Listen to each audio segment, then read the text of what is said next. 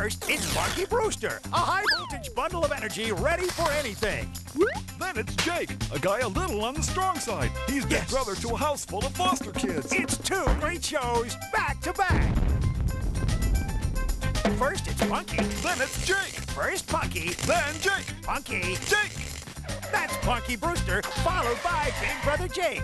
Today at 5 on FAM TV.